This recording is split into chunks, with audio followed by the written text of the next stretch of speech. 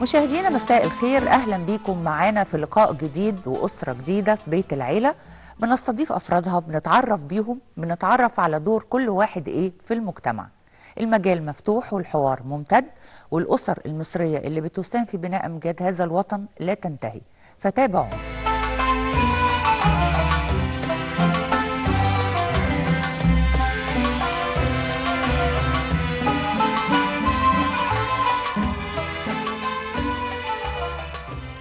مصرية مثالية تعبر عن كل قيم هذا الوطن ومثالياته دون تزييف أو تطرف.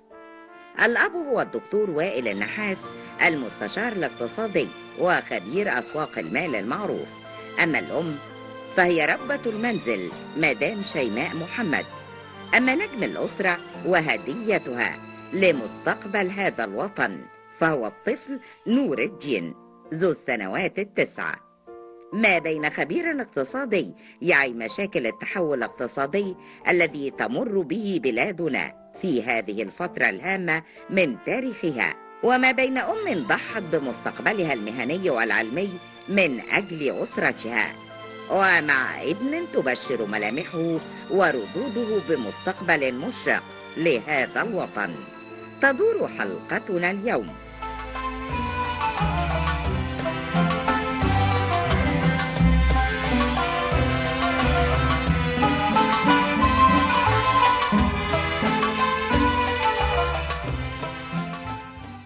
أهلا بيكم مرة تانية مشاهدينا في حلقة جديدة وأسرة جديدة من بيت العيلة. وكعادتنا دايما بنستضيف أسرة متميزة في مجال من المجالات الأسرة النهارده معانا هي آه، متميزة ومتخصصة في المجال الاقتصادي بالإضافة اللي إحنا لاحظناه في معظم الأسر اللي إحنا بنستضيفها وهي اهتمامهم بتربية الأبناء وتوجيه كل الاهتمام وكل المجهود لتنمية مواهبهم أو هواياتهم.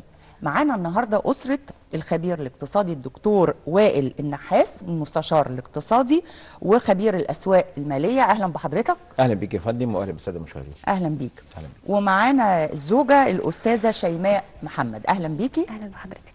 ومعانا نجم الأسرة نور الدين. إزيك يا نور؟ الحمد لله. أنت في سنة كام؟ primary four primary في رابعة ابتدائي يعني. أهلا بيك يا نور. وبنرحب بيكم مرة تانية. أهلا بيك قبل الدردشة بقى في الاقتصاد لأن إحنا طبعا يعني عندنا تساؤلات كتيرة بالنيابه عن مواطنين كتير. أنت عارف دلوقتي حتى المواطن البسيط بيتكلم في ال في, ال في الاقتصاد في, في الأزمة الاقتصادية في بالفعل بالفعل. فالنهارده بقى إحنا هنبدأ بسؤالنا التقليدي اللي بنبدأ بيه دايما وأعرف بقى بداية التعارف بينكم. تمت إزاي هو بداية التعارف بالفعل كان آه، آه، في نسب عائلي كان ما بين أختي وما بين خالها وابتدينا نتعرف آه، من خلال النسب العائلي القديم ده وابتدت آه، يعني نمشي بقية الخطوات بقى بتاعتنا اللي يعني. نقول جوازة تقليدية؟ يعني شبه تقليديه يعني أسلوب التعرف المبدئي كان شبه تقليدي. أنت كنت عايز كده؟ يعني ما كنتش حابب إن يبقى علاقة يبقى قصة لا والله قصة عايز أوضح. لحضرتك حاجة مهمة جدا. إحنا تقريبا بنبقى في شبه مجتمع منفتح شوية تمام؟ فمن ضمن الخيارات اللي بتبقى موجودة بيبقى عندك أكتر من خيار. ولكن زي ما بقول لحضرتك كانت السبب التواجد الرئيسي ليها في في في في الخطوات اللي بتاعه الواحد هو كان المفتاح العائلي في البداية. تمام؟ أيوة. ما كانش الغرض منه إن هو يبقى جواز صالونات صالونات. ولكن هو هي توفرت من خلال ال- المدخل العائلي ده. شيماء أنت بت... يعني بتتكسفي شوية فعشان كده أنا. م- مش بوجه لك ال... الأسئلة بس أنا عايزة أسمع برضو رأيك من القصة. ما كانش عندك مانع تتجوزي بالطريقة التقليدية؟ جواز الصالونات ما كانش عندك حلم معين في الإنسان انت هترتبطي بيه أو أكيد. في طريقة الجواز؟ لا أكيد كان عندي حلم معين بس وائل ما شاء الله مثقف وجميل و... الله. وهادي و... وبسم الله ما شاء الله في كل الصفات المميزة ف... طب فلما آخر مرة سمعت كلام حلو كده إمتى يا دكتور وائل؟ إحنا في البرنامج ده على فكرة احتمال دلوقتي على الهواء. يعني إحنا في البرنامج ده بنبقى الحمد لله الحمد لله السبب في ان أنتوا أحيانا آه، الزوج أو الزوجة بيسمعوا كلام آه، رومانسي. والله آه، هو أهم آه آه، أهم حاجة تقريبا بيبقى حتة التوافق تمام؟ حتة التوافق دي تقريبا هي بتبقى مفتاح أي يعني أي حياة. يعني لو انت توافقتي في الشغل بتاعك ما بينك وما بين الزملاء هيبقى فيه هرموني كويس جدا. لو انت توافقتي ما بينك وما بين الأسرة في البيت هيبقى بالفعل فيه هرموني كويس جدا. فتخيلي إن التوافق ده تقريبا مع شريك الحياة. فبيحصل هنا نوع من أنواع الإنجاز أو نوع من أنواع التطوير إنك انت مش أيوة. هتبص وراكي لا انت هتبص لقدامك. هي دي حتة التوافق اللي إحنا بنتكلم مستقبل عليها. بقى. آه بالفعل آه. أيوة. وخلينا نقول إن حتى لو كانت الجوازة بدأت بالطريقة ال- اللي هي التقليدية والصالونات وانت لقيت أكيد فيها المواصفات اللي انت عايزها. لا، آه، أنا إلا عايز- إنها آه. تحولت أكيد وتطورت زي ما حضرتك بتقول مع الزمن تمام لا هي في فرق ما بين الصالونات إن إحنا قاعدين مع بعض وده بيتعرف على ده وده لا إحنا بنتكلم تم تواجدها من خلال نسب عائلي أيوة. يعني يعني زي اللي يروح يتعرف على حد من نادي أو يتعرف من خلال النادي أيوة. إنما لا هي بالفعل تم تواجدها في ظل الإطار العائلي فتم الاختيار من هنا أيوة. إنما إحنا ما بنتكلمش مثلا إن ده جواز صالونات وتيجي بقى الخطبة وتقول لها لا لا أو آه. إن أنتوا أو إن أنتوا ارتبطتوا من غير ما تعرفوا بعض وتحسوا بالفعل، بال- آه. بالهارموني. اللي بتقول آه. عليه تمام. آه، أو ال أو ال chemistry وزي ما حضرتك بتقول هي ال chemistry دي أنواع يعني أنت بتلاقي اتنين أصدقاء العمر تمام، آه، اختاروا صح. بعض عن دون آه، أصحاب تانيين كتير حصل بينهم الهارموني أو. ال chemistry سواء بقى صداقة أو حب أو ارتباط أو جواز. نيجي لنور الدين إحنا قلنا ان انت نجم العيلة و...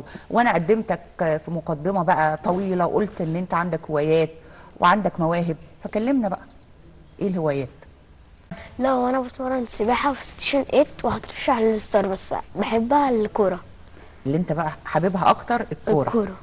طيب ما دام حابب الكورة بتتمرن بتطلب من بابا ان انت تروح تدريب بكرة قدم وكده؟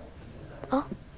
والمذاكرة. إيه الأخبار؟ أنا سمعت إن أنت الأول وحاجات كده يعني كلام جميل.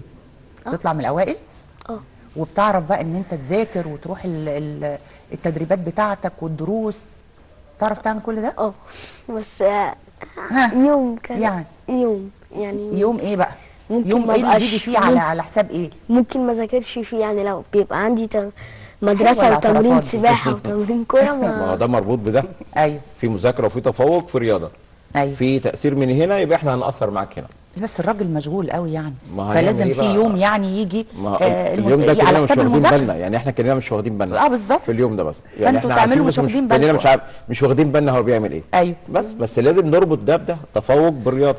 عشان يقدر النهارده يكمل هنا ويكمل هنا ويقدر ان هو ياخد ال ال الوقت الكويس بالنسبة له في فترة الصيف. أيوة. يعني إحنا بنتكلم الاجازه الصيفية بتاعته هي بالفعل تلبيه طموحاته إنما الفترة اللي هي بتاعت الدراسة دي تلبيه طموحاتنا إحنا بقى. أيوة. فهو المفروض إن إحنا بنستثمر فيه فهو بالفعل ما يخذلناش فترة الدراسة. فبنيجي تقريبا على الرياضة شوية في فترة الدراسة. والله مش تلبيه لطموحاتهم ولا حاجة. كله لصالحكم أنتوا في الآخر. بالفعل. بس بالفعل. عشان أنتوا بتبقوا صغيرين مش فاهمين قوي الموضوع ده فهم يعني بيشدوا عليكم. بعد شوية تعرف إن كل ده لصالحك ولمستقبلك أنت. معظم الأسر اللي استضفتها لاحظت ملاحظة فيها إن آه، اللي بيهتموا بمواهب ولادهم أو الرياضه أو آه، أو هواية معينة يهتموا بيها ويمشوا وراها بلاقيهم متفوقين دراسيا كمان. هي باكج على بعضها. مظبوط صح. آه، وبلاقي الشخصية مختلفة تماما عن شخصية واحد عادي أو ولد عادي لا بيلعب رياضة ولا عنده موهبة. بتختلف تماما في الثقة بالنفس وال... تمام. آه، إحنا هنتكلم اقتصاد هنتكلم اقتصاد آه، من ناحية ال... إن معانا خبير اقتصادي آه، وخبير أسواق مالية وهنتكلم مع مع زوجة برضو الخبير الاقتصادي اللي هي بتمثل كل سيدة مصرية جوه بيتها دلوقتي محتاجة إنها يبقى عندها خبرة إلى حد ما آه، مالية واقتصادية عشان توفق الدنيا مع الأسعار مع التضخم بالفعل. الدنيا اختلفت عن من سنتين ثلاثة اختلفت كتير فبقى عندنا لازم إن إحنا نعمل خريطة ونعمل نعمل موازنة خاصة بالبيت ونشوف الأولويات فين. تعملي كده. أكيد. بتستشيري بما إن معاكي خبير اقتصادي. لا. مش بتتدخل ميزانية. البيت؟ لا حاجة أحيانا بحط بصماتي بس مش أكتر. لما إيه بقى؟ تلاقي العملية لما؟ ألاقي العجز بتاع الموازنة زاد شوية. لما تلاقي العجز زاد بدل تتدخل. ما نطرح سندات ولا نقترض هي الخارج. حاجة تتدخل فيها لما تلاقي في عجز موازنة إنك تزود المصروف. آه لا آه، أقلل المصروف شوية. تقلل آه المصروف؟ طبعا أنا ببقى حاطط target معين. فال target معين ده ما أقدرش أخرج براه. فبالتالي هي تقلل بقى الموازنة بتاعتها شوية. تقلل الاعتمادات اللي هي عمالة تعتمد انت عليها شوية. بتتعاقبي. يعني آه. انت لما بيحصل عجز واضح إن هو بيعاقبك. بيقلل الفرق ما بين المصروف. الاقتصادي ورجل البيت العادي. أيوه. بس. لا ده ده يعني ده فرق فعلا. رجل البيت العادي آه، أبسط حاجة. طب اتفضلي. هيزود المصروف. هيزود المصروف. أيوه. إنما إحنا مش هنقدر إن إحنا نزود طب دي لو المصروف. طبقناها على الدولة بقى الدولة بتعمل كده؟ والله الدولة هي تقريبا يعني بتتخيلها إنها بتعمل كده. آه بس كل ضغط في المصروفات هيحصل آه آه تخاذل من الناحية الثانية في تقديم الخدمات. أيوه. يعني النهارده لو حبيت أوفر النهارده العجز بتاعي هاجي على إيه؟ هاجي على ال- المرتبات والأجور ولا هاجي النهارده على الخدمات اللي بقدمها ولا هاجي على الدعم. ما يعني المصروفات بتاعت الدولة محصورة في كام حاجة. أيوة. والفترة الأخيرة تقريبا إحنا شايفين بالفعل إن في إنهاك للموازنة العامة للدولة. تمام. في تردي للخدمات اللي هو موجود أو شبه تردي للخدمات اللي هي موجودة. أيوة. فبالتالي ده كله بيعتمد على إيه؟ عايز أزود الإيرادات. هزود الإيرادات منين؟ أنا كدولة يا إما هقترض يا هطرح سندات يا إما أو الاقتراض والسندات واحد بس. ممكن تقترضي خارجيا ممكن تطرحي سندات داخليا أو خارجيا ممكن تطرحي أذونات خزانة. آه كل الكلام ده كله في الآخر إيه؟ برضه هيجي عليك السنة اللي بعدها صورة الفوائد بتاعت الدين اللي أنت خدتيه ده كله. يعني ضغط أكتر. المصروفات حضرتك مش شايفه؟ أو آه، يعني الضغط على المواطن حضرتك مش شايف إن هو حل؟ لا حل العجز؟ لا ضغط على المواطن مش حل. بس أنت عايزة تتكلمي على ضغط الموازنه بجد ما تتمش بالتصريحات دي. لازم نغير في أسلوب معايير المحاسبة الحكومية. هو ده اللي, اللي إحنا نتكلم فيه. يعني الباب واحد طب وباب اثنين وباب ثلاثة ببساطة كده للمواطن العادي عشان نفهم حضرتك. بمعنى إيه؟ آه، بمعنى المشكلة الرئيسية عندك إن لو حبيتي تقولي لا ده أنا هخفض البدلات. تمام؟ آه، هخفض البدلات في قوانين النهارده بتحتم على الموظف ده ان هو لو سافر الحته الفلانية لو اشتغل ساعة لو اشتغل ساعتين لو آه، خد برنامج زيادة مش عارف إيه ياخد البدل ده تمام؟ فمش هقدر اراجع عليه لأن القانون مش هقدر اراجع عليه. أيوة. انما لو غيرت النهارده الباب بتاعي في المعايير المحاسبية بتاعت الحكومة وتبويب المحاسبة الحكومية أقدر النهارده اعمل حاجة.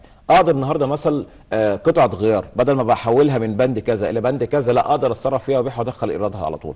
عندي مثلا لو بالك بند آه، مثلا من البنود المهمة جدا الكهنة والصيانة والخردة وما شابه ذلك. الحاجات دي كلها فلوس تمام؟ إمتى احول دي من الباب ده للباب ده هو ده المهم. إمتى اغير دي من الباب الثاني للباب الثالث ده مهم. ومن الثالث للثاني ده مهم. هي حتة الضغط في المصروفات كلها بتيجي في المنطقة بتاعة التبويب المحاسبة نفسها. أيوة. يعني لو قدرنا إن إحنا نقدر إن إحنا نحسم المحاسبة بتاعتنا الحكومية دي ونبتدي نحط لها خريطة جديدة للتبويب بتاعها أعتقد هنا هتخفضي كل مصاريف الإنفاق بتاعتك أو الإهدار في الإنفاق بتاعك. لأن أيوة. ممكن تبقى موجودة مثلا سي معدة عندك ممتازة جدا ماكينه تصوير هايلة جدا إنما عشان فترة بتاعت العمر بتاعها الافتراضي ابتدى حسبت الإهلاك بتاعها فنزل فاعتبرتها انها خردة مع إن نفس المكنة شغالة أيوة. تمام ب quality بسيط ولو جبت لها مثلا حاجة بسيط جدا تقدري تحدثيها ولكن طبقا و- للسنين و- وأنا كده مش بوفر يعني أنا لو بالفعل. امتنعت عن إن أنا أحدثها عشان تشتغل معايا عمر أطول أنا كده مش مش بوفر لأن على اللونج ران على المدى البعيد شوية مش بعيد قوي كمان آه. هي هتبوظ عندي خالص هتكلفني أكتر تمام بس طب انت النهارده يعني كمان كله جبتيه عن طريق إحنا بندي. مثل على فكرة. آه ما هي أمثلة مش هي مش أكيد، بسيطة آه. جدا كمان. بس إحنا بنتكلم هي أسلوب يعني التبويب حضرتك بتاع المحاسبه الأسلوب نفسه أسلوب التفكير نفسه لازم يتغير آه، الخطة آه، نفسها المحاسبة الحكومية معاييرها لازم تتغير آه. خلي بالك على فكرة في حاجة إحنا في المحاسبة العادية كل فترة آه بيحصل عملية تغيير ومعالجة تمام معالجة للمعايير المحاسبية. واجي أقول لك والله معيار الأداء المحاسبه الحكومية المصرية آه ابتدى يتغير السنة دي. هنعمل كذا في تقييم الأصول غير السنة اللي قبلها. هنعمل في معايير يعني مثلا فرق- فعلا. في المحاسبة الحكو... العادية مش الحكومية. إنما إحنا بنتكلم على المحاسبة الحكومية بالفعل عايزة إعادة نظرة مرة أخرى تمام؟ طب طرق تبويب الابواب يعني- عايزة نظرة مرة أخرى. طب يعني أنا بسمع من حضرتك آه، بسمع أحيانا لقاءات أو بستضيف ناس بلاقي الآراء رائعة. الآراء لو تم الاهتمام بيها من المسؤولين أو التنفيذيين هنلاقي في, في الدنيا بدأت يعني تتغير تمام، لل- مظبوط. للأحسن تمام. طب مش بيتم ال- الاجتماع بيكم آه، الأخذ بآرائكم كخبراء اقتصاديين آه، مش ضروري حضرتك عموما ده بيتم من الحكومة بيتم. ولا لا آه لا هو بيتم بس آه في فرق ما بين رؤية آه أنا شايفها إن أنا وأنا قاعد مثلا على الستيج مثلا في الجامعة في محاضرة أقولها دي جميلة جدا وهايلة للطلبة. نظري. آه في رؤية ممكن أقولها مثلا في برنامج في التلفزيون دي هايلة ورائعة تمام؟ في في ال- في ال- على الصحف دي أجمل وأجمل. في ال- الجلسات الاجتماعات والمؤتمرات والكلام ده كله بتبقى هايلة جميلة جدا. إنما في المعيار المعيار اللي قابل للتطبيق آه لدي أنا كدولة هي دي حتة اللي إحنا بنقدر نقول عليها الاشتباكات. في تشريعات بتمنع تطبيق الفكرة. هتكلم على آه، موضوع بيهم كل الناس هو مرتبط ببعضه تعويم الجنيه تحرير آه، سعر الصرف آه، حالة التضخم بالتالي اللي هي أصبحت عدونا كلنا كمواطنين طبعاً. آه، بنعاني منها ففي اعترافات من خبراء كتير إن آه، ما كانش قراره وما كانش وقته تعويم الجنيه ما كنا يعني ما كناش في حالة مش تسمح. جاهزين له. كان ممكن من آه، سنوات مش جاهزين له. مش جاهزين له لا هو من سنوات إحنا كان ما عندنا كنا بالفعل معومين وأنا ما أعرفش ال- الكلام ده بيجي ليه. حتة التعويم ده إن الدولة ما تتدخلش. تمام؟ أنا بسيبه كده للعرض وللطلب. أيوة. تمام؟ هو بالفعل قبل 2011 الدولار النهارده كان تقريبا موجود في الشارع. وما كانش حد أصلا شركات صرافة عارفة تكسب حتى. لدرجة في شركات كتيرة جدا قفلت. وشركات كانت يعني يعني عارضة الرخص بتاعتها للبيع. فبالتالي حتة توفر المعروض النقدي ده الدولاري أو أي عملة تانية بغض النظر عن اسمها إيه ده كان موجود قبل 2011 وبدليل كده إن إحنا قعدنا لفترة كبيرة جدا مستقرين عند منطقة ال 5 جنيه 55 قرش أو 5 جنيه ونص وكنا بنتحرك تقريبا بالقروش. ومكسب شركة الصرافة كان تقريبا حوالي يعني بلغة قديمة كده بتتقال ثلاث تعريفة. يعني تلت يعني قرش ونص. تمام؟ ده كان الحركة في الدولار. فكان متواجد. اللي بيقول والله ما كانش متواجد أقول له معلش ارجع بس كده بالذاكره كده ونشط الذاكره شوية عشان إحنا ذاكرتنا عاملة زي ذاكرة مش السمكه مهم كان متواجد آه، ولا يعني أنا مش بناقش لا، بصراحه كان العملية كانت متوفرة. إن دلوقتي هي أضرت أكتر ما هي؟ قال لازم أبقى جاهز. إحنا مش ضد إنك أنت بالفعل آه تمشي مع عمليات السوق ولا ضد بالفعل إنك أنت تهدر أموال في دعم قيمة الدولار مقابل الجنيه. ولكن خلينا إن إحنا بنقول كل خطوة لازم يبقى لها خطوة استباقيه ان أنا بالفعل عايز اعوم أشوف النهارده المخزون الاستراتيجي ليا كالدوله المصريه إيه ابتدي اقعد النهارده مع المستشفيات مع الادويه مع الاغذيه مع السلع مع التموين مع مع مع الكلام ده كله. واقول لهم قدامكم قد إيه توفروا مخزون استراتيجي لمدة على الأقل 8 أو 9 أشهر علشان النهارده أنا لو خدت القرار ما يحصلش عملية تضخم سريع جدا أو ارتفاعات غير مبررة للأسعار سريعة جدا. لازم كنت تاخد القرار ده. وده بالفعل اللي ما تمش. إحنا جينا في يوم وليلة بالفعل قرارات اتخذت. لقينا ارتفاعات متتابعة ومتتالية وارتفاعات غير مبررة للأسعار كلها. وما زلنا حتى الآن في مسلسل ارتفاع الأسعار. يعني حتى بالرغم من حضرتك بنتكلم على على التعويم وما شابه ذلك إحنا عند منطقة ال 18 جنيه تقريبا بقى لنا بتاع حوالي دولار. 5 آه 35 يوم. 35 آه. يوم الدولار ثابت على وارتفاع أسعار 18 مستمر. 18 جنيه. ده نقول آه. ميزة ولا نقول آه، عيب؟ وهل ممكن نلاقي لا ارتفاع حدث مرة واحدة؟ إيه اللي بيتحكم في ال- في القصة ال- ال- ال- الكراشنج العنيف أو النزلة العنيفة اللي حصل لل- للسوق بالنسبة للعملة الأجنبية من منطقة ال 20 جنيه حتى منطقة 15 جنيه 70 قرش أنا بقول ده تدخل. تمام؟ بس تدخل مش بحرفيه ليه؟ لأن أنا لما جيت سيطرت كان عندي لما بنجمع الرقم بتاع الاحتياطي في 6 مليار دولار مش موجودين. معنى كده إن أنا كدولة دخلت تمام؟ يبقى أنا ضد النهارده سياسة التعويم أو أنا بعمل عملية تعويم موجه تمام؟ أو مضار. يبقى ده عكس الاتفاق ما بيني وما بين ال- ال- السوق الحرة وعكس الاتفاق ما بيني وما بين الصندوق. انت كدولة من حقك انك انت تسيطر تمام؟ بس لما نيجي نسيطر لازم تبقى بحرفية عالية. فيما معناها إيه؟ ان أنا تواجه عند عند منطقة ال 18 جنيه وهو بينزل من 18 ل 20 حاجة اسمها head and shoulders اللي هو راس وكتفين ده نموذج عكس الاتجاه. يعني المنطقة دي أي واحد فاهم تحليل فني هيقول لك آه ده هينزل. طب هينزل يروح فين؟ 15 جنيه 60 قرش وهو ما حدث بالفعل. إنما الخطأ مش في كده. الخطأ إن أنا سوقت له عن طريق الإعلام إن بالفعل خلاص انتهت موجه الارتفاعات وان بالفعل ده آخر مرة هتشوف الدولار بالأرقام دي وبالفعل إلحق أقف في الطوابير عشان تلحق تغير. كل الكلام ده غلط. ليه؟ أنا النهارده بعت ال- ال- الحمله وهل الحملة. الترويجية دي كانت مقصودة برضو؟ آه كانت مقصودة بس ده استغلالها غلط. ليه؟ خلي بالك حاجة واحدة بس. اللي قاعد النهارده في القطاع المصرفي في واحد تاني قصاده قاعد بره وبقى أعلى حرفيه تمام؟ اللي هي شركات صرافه السوق السوداء بقى في application النهارده بيحدد لك العرض والطلب فين. في application بيقول لك والله مناطق البيع والشراء بقت فين. خل... نخلي بالنا حاجة واحدة. لما الدولة النهارده زي وزارة المالية تطلع النهارده تتفائل وتقول النهارده مؤشرات اقتصادية هايلة جدا تبسطني أنا كمواطن، تيجي تقول والله أنا أنا الفترة اللي فاتت الصادرات عندي زادت 2 مليار دولار، أقول لك أنت هايل وبرافو عليك، تمام؟ لما يجي يقول لك الواردات انخفضت عندي حوالي تقريبا 8 مليار أو 9 مليار دولار، أقول له أنت هايل وبرافو عليك، التحويلات داخل القطاع المصرفي ابتدت تزيد قرابة حوالي 8 مليار دولار، أقول له أنت هايل برافو عليك، ده السياسة المالية، طب أجي الطرف الناحية الثانية على السياسة النقدية، هاجي أقول والله ده الدولار نزل من كذا، لا ما إحنا نتقابل بقى هنا. الأرقام دي بتاعت وزارة المالية اللي أعلنت عنها أو وزارة التجارة والصناعة اتعملت فين؟ اتعملت عند من منطقة 18 لمنطقة 20 يعني أنا لو كسرت منطقة ال 18 هخسر ال 2 مليار دولار الصادرات اللي عملتها. ولو خسرت كسرت منطقة ال 18 يبقى أنا كمان هخسر تخفيض الواردات اللي أنا حققته. يبقى- هنا كإيه؟ ك- أيوه. هنا بقى ده, ده التضارب اللي إحنا بنتكلم عليه. المؤشرات الاقتصادية اتحسنت فوق 18 جنيه. سياسة النقديه للبنك المركزي ابتدى يعمل كراشنج وابتدى النهارده يخوف الناس ويرعب الناس عشان يبتدي يتحصل على أكبر كمية من الدولار. هنا كان في ارتجال في المشهد تمام؟ وعشان كده كنا بنتحدى إن الدولار هيعود مرة أخرى للارتفاع وهيعود مرة أخرى الصعود وبالفعل ده ما حدث. ولكن في بقى في اللحظات الأخيرة أو آخر أسبوعين بالظبط أنا شايف في تغيير في المشهد داخل القطاع المصرفي أو في تغيير في المشهد داخل البنك المركزي. في حرفية بقت عالية. ليه؟ أنا مش عايز أنزل الدولار بسرعة مش هفرح بيه. ليه؟ هيحصل نوع من أنواع تبخر الأموال. يعني حضرتك عايز تقول إن الثبات اللي عليه الدولار 35 دي يوم حرفية أداء بقى. دي آه، بداية آه. إن إحنا نحس بحرفية الأداء بالفعل. وفي أمل إن لو استمروا على كده ولعبوا بحرفية ويعني نلاقي ان إن الدولار ممكن يقل عن كده. برافو. أنا شايفه في الفترة الحالية ممكن يروح ما بين مثل أو بلاش نحدد الأسعار عشان آه، ما يتقالش إن إحنا بنوجه السوق بس أنا شايفه يقدر ينزل شوية. تمام؟ يعني يقدر ينزل على المنطقة دي. 17 ولا مثلا يعني أنا شايف عند 16 منطقه ونص؟ 17 60 تقريبا في المنطقة دي ممكن إن هو يروح لها. ليه؟ لأن ما زلت حتى الآن عندي برضو آه، موارد عندي آه، متطلبات دولارية لسه مطلوبة مني. يعني إحنا بنتكلم مطلوب مني تقريبا من بعد شهر 6 قرابة حوالي 12 مليار دولار. عندي النهارده سعر الفايده تقريبا أو ال- ال- الفوائد بس موجودة في الموازنه الجديده 385 مليار. ده فيما يعادل تقريبا حوالي 20 مليار دولار؟ الناس معلش سؤال كده يعني بسيط قوي ساذج يعني. كمواطنين عاديين بمواقع التواصل الاجتماعي يعني أنا جات لي الفكرة دي من يعني حضرتك كنت بتتكلم وبتقول الحملات الترويجية وتأثيرها على الدولار والناس وقفت طوابير. هل ممكن توجه مواقع التواصل الاجتماعي والناس والحملات الترويجية دي والإشاعات اللي اللي ممكن إن إحنا نطلقها ممكن تلعب في سعر الدولار؟ آه طبعا. طبعا. إحنا لو بنتكلم بحرفية. آه بنتكلم على أساس إن في حاجة اسمها في في السياسة مش في الاقتصاد بقى الحالة المزاجية. تمام؟ الحالة المزاجية أنا كمسؤول أقدر أصرح تصريح ده إمتى؟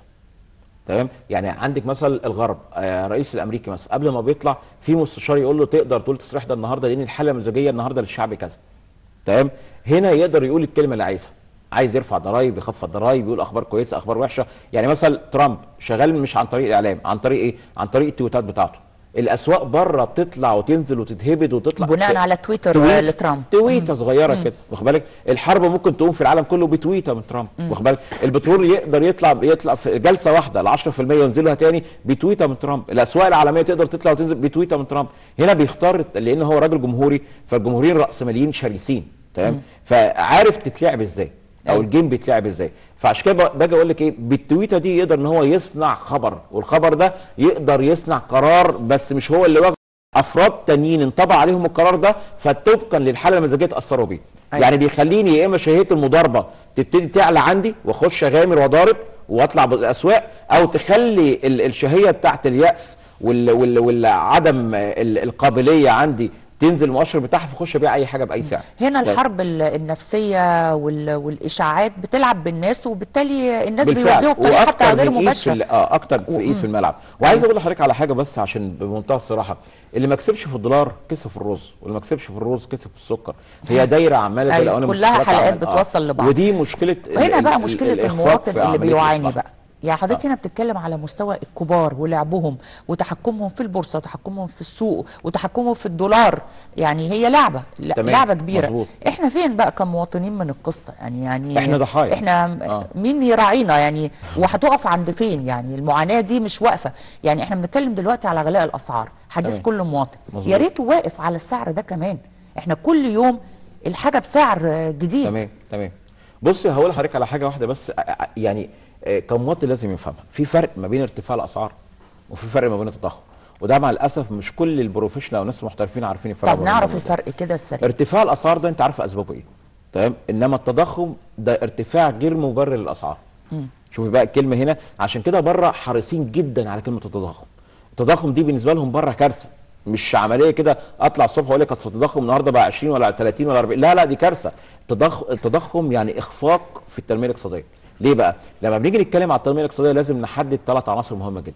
معدل نمو حقيقي مش وهمي. يعني إيه معدل نمو حقيقي؟ يعني أنا بعمل معدل نمو نتيجة التدفقات أو نتيجة إن أنا بستثمر أو أي حاجة المهم معدل النمو ده لازم يغطي لي حاجتين. معدل الزيادة السكانية عشان أقدر اوقف أوفر فرص العمل. والحاجة الثانية أقدر أحقق عوائد أو فوائد مالية تقدر إنها تقلل لي الالتزامات اللي عليا. تمام؟ ده معدل النمو الحقيقي وده مش موجود عندي دلوقتي. ولا عارف أوفر فرص عمل؟ ولا عارف حتى إن أنا أخفض الفوائد بتاعتي أو اقساط الدين أو الكلام ده كله. كل سنة في زيادة. أيوة. الفرده الثانية أو النقطة الثانية اللي بعدها بتحصل إيه؟ إن أنا النهارده بيتقال عليها بكبح كباح تضخم. يعني فيما معناها إيه؟ التضخم عندي ما يزيدش. لازم التضخم ينزل. تمام؟ يبقى بنقول أول حاجة نمو حقيقي تاني حاجة التضخم عندي ما يرتفعش لازم أسيطر عليه ويبقى في النازل. الحاجة الثالثه بقى ودي أهم حاجة اللي حضرتك المفروض إنك أنت وأنا وأي مواطن يحس بيها ارتفاع متوسط آه، ارتفاع الدخل الحقيقي للفرد. مش متوسط دخل الفرد الدخل الحقيقي. يعني القوة الشرائية لمرتبك كل سنة بتزيد ما بتقلش. أيوة. وده اللي بيحصل عكسه عندي. إذا الثلاثه دول مش متوفرين يبقى أنا ما بعملش تنميه اقتصادية. يبقى إحنا كده بنصرح مع بعضينا اي تصريحات وخلاص. هي دي الخطورة عشان كده بنيجي نقول إيه؟ التضخم مش ارتفاع الأسعار. التضخم هو ارتفاعات غير مبررة. غير؟ مبررة للأسف. آه. يعني على سبيل المثال قلنا الدولار الست الغلبانة اللي هي بتزرع لها حتتين فجل ولا بتاع تقعد بيهم مرة واحدة تشتري بدل ما ب 50 قرش بجنيه. ليه؟ ما هو الدولار غلي. انت مالك ومال الدولار؟ لا نخلي بالنا بقى. الموجة الأولانية اللي إحنا اتكلمنا عليها ارتفاع الأسعار المتتالي ورا بعضه ده ده نتيجة التخفيض قيمة الجنيه مقابل الدولار. الموجة الثانية دي نتيجة تحميل تكاليف أخرى، أنا واخد قرض القرض ده مش عارف أسدده وارتفع الفوائد عليا والسوق عندي تعبان فبخسر فبرفع التكلفة عليها، عندي إيجار المحل كنت باخده ب 1000 جنيه النهارده ب 1500 ورفع التكلفة، عندي النهارده كهرباء زادت عليا فرفعت القيمة المضافة زادت مش عارف على كاوتش العربية مش عارف فرفعت، النهارده ارتفاعات غير مبررة عملت ده التضخم اللي إحنا وصلنا له 33 لا بيلاقوا مبرر حضرتك. يعني الست بتاعت الفجل حضرتك. بتقول أنا بنقل الفجل على عربيه فالعربية في بنزين بيتحط ولا لا آه، هي يا- إنما هي آه. مش عارفة تعبر عن ليه بقى هي مشكلتها اللي إحنا بنتكلم عليه بقى برضو ارتفاعات غير مبررة إيه؟ تكلفة معيشتها هي كمان غليت. أيوة. يعني هي كمواطنة غلبانة النهارده كل اللي بيجي لها منين؟ من يا دوبك ال- ال- ال- الحصيلة البيعية اللي بتبيعها في اليوم ده. بس تكلفتها النهارده الكهرباء زادت عليها المية زادت عليها النقل زاد عليها الأكل زاد عليها لو هي عندها أولاد التعليم زاد عليها. هي دي المشكلة. فبتحط تكلفتها بتاعت المعيشية على كمان البيع اللي بتبيعه. وده شيء طبيعي آه. وما نقدرش نبرره وما نقدرش إن إحنا في المشكلة بتاعه التضخم دي نقول إن العيب على التجار وجشع التجار. اولا لا، لأن الدولة. مهمتها رقابة الأسعار ورقابة ال- التجار. ما تسيبش الموضوع زي ما سيبنا الجنيه كده عرض وطلب وتحرير وكل واحد بقى ومزاجه. النهارده سعر بقى. سعر الدورة حصلت إيه؟ عندك في 2016 كنا إحنا طيب بنحذر في خلينا 2015 هنشوف إيه حضرتك دلوقتي مع بعض علشان نبقى محددين بعد الفاصل نرجع له. اتفضلي. هنتكلم عن إيه؟ الدورة بتاعت الارتفاعات حصلت إزاي في الأول لغاية ما وصلنا لكده؟ طيب. بدعو حضرتك دكتور وائل أستاذة شيماء نور الدين الساده المشاهدين إن إحنا نطلع لفاصل ونرجع نستكمل حوار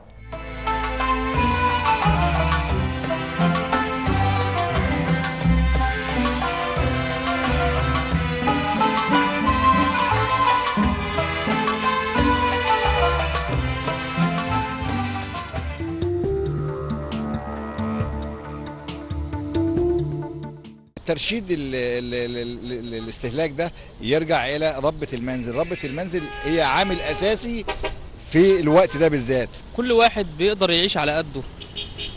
يعني اللي دخله ألف جنيه هيعيش بالألف جنيه اللي دخله ألفين هيعيش بالألفين اللي دخله تلاتة هيعيش بالتلاتة. كل واحد بيعيش على قده. دلوقتي بدأ إن الأسرة تح- تشعر بإن المبلغ اللي معاها يدوب يمشي الشهر. فبدأت الفنون بتاعت زمان فنون وجود الأم في البيت بدأنا نشوفها تاني. الفاكهة غالية مش لازم فاكهة. أو نجيب كيلو من كل نوع. كل أسبوع يجيب كيلو من حاجة معينة. ويترتب نفقاتها من أول وجديد. بالنسبة بقى للكهرباء والغاز والمية والخراب البيوت بتاع التليفون ده ده قصة تانية بقى. يبتدي إن هو يوفر من ناحية تانية ويقلل استهلاكه عشان الدنيا تمشي. ولازم كل واحد يستحمل التاني لأن هي حاله حالة صعبة والحياة بقت صعبة جدا فعلا.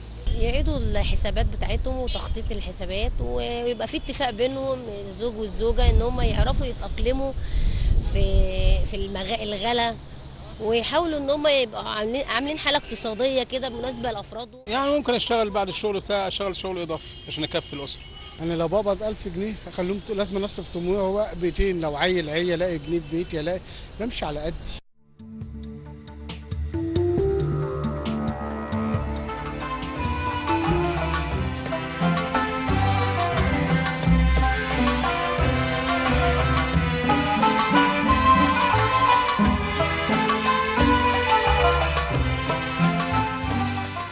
أهلا بكم مشاهدينا مرة تانية. بنستكمل حوارنا مع الدكتور وائل النحاس الخبير الاقتصادي.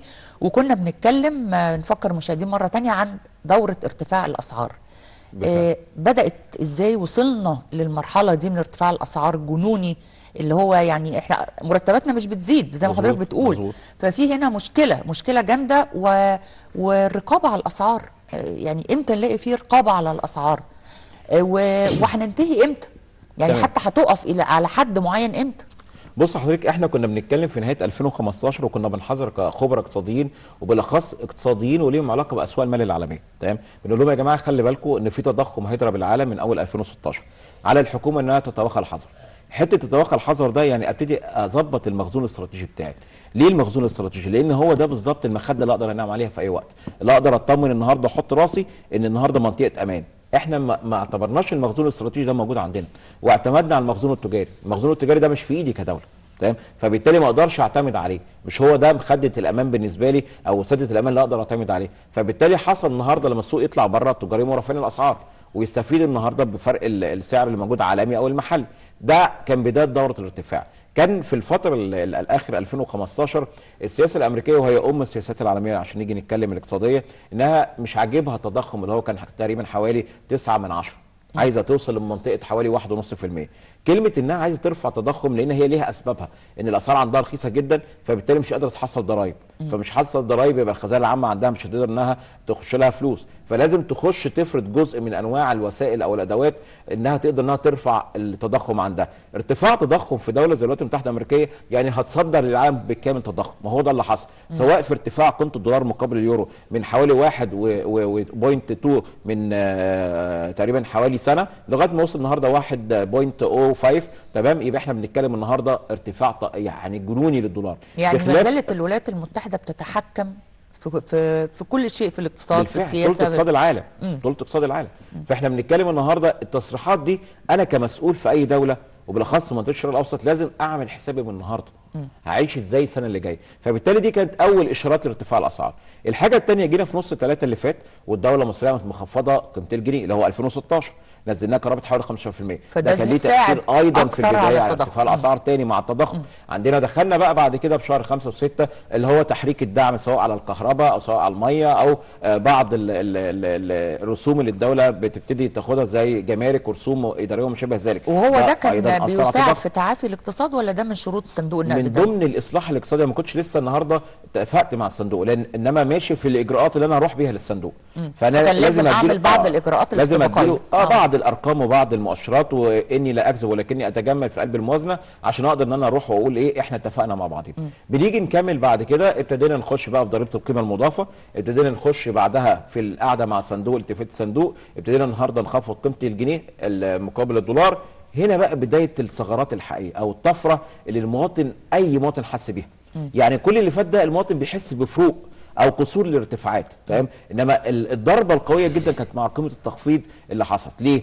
كان اترتب عليها خسائر كبيرة جدا عزوف 90% من المستوردين ان هم يستوردوا. يعني مصر شغالة ب 10% من المستوردين فحصل نقص في السلع. بالتالي الدولة فرضت جمارك تانية شريحة جمارك جديدة فحصل ارتفاع لاسعار السلع. بعد كده حصل خسائر لرجال الأعمال قرابة حوالي 7 مليار دولار فقعدوا مفاوضات مع البنك المركزي إن هم يتفاوضوا إن هم يسددوا خلال ثلاث سنين وبفايدة 12% فأنا النهارده كتاجر هحمل على السلعة دي الخسارة بتاعتي والفايدة بتاعتها. فبالتالي أنا كملت تاني في ارتفاع الأسعار. دخلنا في 2006 2017 ابتدى يتحرك التضخم العالمي في الولايات المتحدة الأمريكية من منطقة ال 1.8 من عشرة إلى منطقة ال 2.5% يعني هستورد تضخم جديد مع ارتفاع بقى أسعار البترول اللي كان في أول السنة اللي فاتت 28 وقفل لي السنة دي أو الأيام الأخيرة قرابه ال 55 كل دي ارتفاع في أسعار الطاقة والمحركات وما شابه ذلك بيكلفك أيضا ارتفاع في تكلفة الإنتاج العالمي فبالتالي بيجيب لك أو يستورد لك من بره أسعار غالية. مع بقى هجوم بعض المستوردين على عملية الاستيراد أدى بالفعل إلى زيادة عملية التهريب.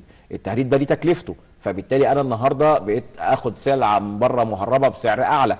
كل العوامل دي كلها بالفعل أدت لارتفاعات. عشان كده بنيجي نقول إيه؟ ارتفاعات متتالية غير مبررة. تمام؟ هو ده اللي أدى. طب هل النهارده زي ما قلنا في البداية إن ال- بقالنا قرابه حوالي 33 يوم أو 35 يوم عند استقرار سعر النهارده بنقول منطقة 18 جنيه وما زلنا في مسلسل ارتفاع الأسعار؟ آه لازم في مسلسل ارتفاع الأسعار. ليه؟ نقص المعروض زي ما قلنا بيؤدي ارتفاع الأسعار مع زيادة الطلب. وإحنا داخلين على موسم تقريبا في منطقة الشرق الاوسط وبالأخص الدول الإسلامية كلها ده موسم بالنسبة لهم ضغط على الطلب على السلع فبالتالي ارتفاع أسعار. بخلاف إن أنا بالفعل عندي مشكلة آه ان ما عنديش المعروض الكفاية وفي نفس الوقت عندي مشكلة أكبر وأكبر إن أنا كمواطن مصري الدخل بتاعي تآكل. فعندي النهارده عندي حاجة اسمها ركود تضخمي. يعني البضاعة موجودة وأنا برفع عليها أسعار والمواطن مش قادر يشتري فبالتالي ركود تضخمي. بقى كل يوم بيعد عليا بتكلفة سواء تكلفة التموين نتيجة ان الفائده بقت 20% فالتمويل بقى 24% وأنا واخد قروض من البنوك فبقيت كل يوم أرفع سعر الوحده بتاعتي وهي ما بتتباعش. والأسعار عمالة بتزيد أنا عليها أنا أنا أنا شخصيا كمواطنة بسأل بعض التجار طب أنت البضاعة بدل ما هي مركونة وبتبوظ بيعها بقى بالسعر المعقول بلاش الزيادة ال- ده الجنونية. يقول لا خليها تبوظ. آه طبعا لا هو. بيرفض بيقول تبوظ أحسن. لا يعني خلي بالك خلي بالك لو هو ما سيطرش على السوق أخطر شيء وده اللي ممكن لازم الحكومة تبتدي تلحق من النهارده تسيطر على الأسواق واللي هيحصل موجة الحريق اللي حضرتك بتتكلم عليها. حريق ده يعني أنا هخسر زي ما يكون وهسحب رأس مالي وأخرج. هنا بقى دي المشكلة مش هيقدر تعود مستثمر خرج خرج. لأن اللي خرج ده هيبقى خرج هو. لسه مستثمرين هو في بعض المستثمرين فعلا المتبقي. قفلوا آه، ال- ما عشان كده ده هيعمل لك التجارة بتاعتهم أو أو سحبوها أو صح صح. ده يؤدي إلى مزيد من المشاكل. ليه؟ مين النهارده هيبقى متواجد في السوق عشان يوفر لك المعروض؟ أيوه. مين النهارده هيوفر لك السلع عشان حضرتك تشتريها؟ هي دي المشاكل اللي إحنا بنتكلم عليها الفترة اللي جاية. طب الأسعار هتستقر عند هنا ما إحنا بنقول في موجة. أعتقد إن ما تبقى من سلع سيتم حرقه في شهر رمضان القادم تمام؟ لأن مش هيقدر يكمل بأسعار بسلع أكتر من كده وده اللي عشان كده بقول لحضرتك ما ينفعش يحرق في ظل الطلب تمام؟ أيوة. لا يرفع الأسعار في ظل الطلب ويحملها بالخسائر القديمة ويبتدي يعمل حسابه إنه في رمضان مش هيقدر يبيع لأن خلاص بقى الدخل بتاعك تأكل في الفترة دي نتيجة ارتفاعات والصرف المرهق في قلب شهر رمضان فبالتالي يخش يحرق بضاعة. لما هنا يخش يحرق البضاعة بتاعته هتحصل مشكلة بالنسبة لي. اختفاء بعض رجال الأعمال أو بعض التجار أو بعض المستوردين أو المصنعين من داخل السوق. تمام؟ دي متوقعة في رمضان القادم. آه. ما تبقى بقى من الاستثمارات اللي إحنا بنتكلم عليه إن الدولة لسه طبقا لاتفاقية الصندوق لازم هبتدي تحرك جزء كبير جدا من الدعم. دعم يعني إيه؟ يعني طاقة يعني كهرباء يعني مية خدمات كذا كذا كذا. فده تكلفة زيادة على أسعار السلع أو تكلفة الإنتاج مرة ثانية يعني دورة ارتفاع مرة أخرى للأسعار. فده اللي إحنا بنتكلم عليه. أتمنى إن لو إحنا زي ما أنا شايف الأداء الحرفي داخل القطاع المصرفي ده إن ده يتزامن مع انخفاض قيمة الجنيه آه، انخفاض قيمة الدولار. عشان أنا لو النهارده حررت الدعم مثلا بنسبة 10% أو 20% الدولار النهارده وهو بينزل مقابل الجنيه بال 10 20% يقدر يمتص قيمة الارتفاع. أيوة. وده اللي إحنا بنتكلم عليه. والدولة دي لازم تتحرك بدي بحرفيه تانية. إيه بقى؟ هو أنا الجنيه بس اللي اللي اتذبح قدام العملات الأجنبية؟ لا. ما أنا في دول تانية نزلت بال 10 20% ي- طب أنا يلجأ للعملات الأخرى. لا أحود البوصلة الاستيرادية. بدل ما أنا بستورد من الدولة دي لا أحسس المواطن إن حصل انخفاض في السلع بدون إن أنا النهارده اخفض قيمة الجنيه أو الدولار أو أدعم أو أعمل أي حاجة. أعمل إيه؟ أروح النهارده للدولة اللي انخفضت العملة بتاعتها بالتزامن مع انخفاض العملة بتاعتي بنسبة ال 20% وأستورد واتمتع. بالخصم. مم. أيوه. هنا المواطن قدرت إن أنا أوفر له تخفيض في الأسعار بدون إن أنا احكمها يعني تعمل حاجة. فكرة زي دي يعني يعني حضرتك كانت صعب على المسؤولين إن هم والله ما يفكروا أعرفش. فيها؟ يعني اللي عايز يحل هيقدر يحل. تمام؟ فإحنا بنقول لازم نتمتع بالميزة النسبية دي. لازم نتمتع النهارده إن عندي بالفعل داخل على رمضان اللي جاي. المشكلة مش مشكلة سلع بس عشان نتكلم بمنتهى الصراحة. إحنا بنتكلم من مشكلة لبس. مصر النهارده داخله عليها عيد. وعندنا الفترة الاستهلاكية في النص بتاع رمضان. هل أنا جاهز؟ وأنا موقف الاستيراد؟ ومصر النهارده بقى اللي يجي يقول لك الكيلو اللبس بقى بكذا هل مصر النهارده بلد القطن على مدى التاريخ؟ إحنا لبسنا العالم كله. نيجي النهارده فين البديل. فين اللبس المحلي؟ وخصوصا إن أنا. عندي موجة بين الاستعداد وال- والوطني اني اشتري المحلي. دي بقى الميزة اللي, موجودة موجود فين؟ عندنا وبيتم إحنا- عنه فين؟ وال- إحنا مش مركزين. تخيل إنك أنت عندك شركات قطاع عام مشهورة جدا brand name كده من أيام الثلاثينات لغاية النهارده. اللبس فيها متخزن بقاله سنين وكل سنة سعره بيغلى نتيجة التكلفة والقروض اللي متاخده الأجهزة اللي موجوده إحنا كنا بنتكلم على شاشات LED ده لسه عندهم شاشات تلفزيونات العاديه لسه عندهم تلاجات وكل ده بضاعة راكدة. طب ما ارجع تاني النهارده للعاملين في الدولة أو بأي حد بالضمانات وخد وبيع كل المخزون بالأسعار القديمة بتاعته هصفي كل المحلات دي كلها. أيوة. وهقدر بناء على كده هبتدي أشغل مصانع الغزل المتوقفة النهارده وأجيب الغزل وتعمل لي قماش جديد وأقدر أجيب 100000 أسرة النهارده بشباب كويس جدا متخرج واعلمه وأجيب له ناس تقول له إزاي تفصل البدلة ولا البنطلون ولا الجاكيت ولا كذا وأملى المحلات دي تاني اشتغلت الدورة. الحلول موجودة. بس إحنا مشكلتنا مش قادرين ناخد الخطوة. أيوة. أنا عايزة بقى أستاذة شيماء تشترك معانا قبل ما ننهي في الحوار وتقول لي هي بقى كربة منزل بتعمل إيه؟ بتعمل إيه مع ارتفاع الأسعار و... آه، بتعيدي ترتيب أولوياتك؟ بت... أكيد. بتعملي إيه؟ أكيد دلوقتي بقى عندي أولويات عن الأول. في حاجات كنت الأول بقدر أجيبها كتير دلوقتي لأ بعد ارتفاع سعر الدولار يعني. دلوقتي عايز تخطيط. آه يعني أو أجي- أو نجيبها بالتدريج بقى يعني. لأ بقيت عاملة بقى ميزانية.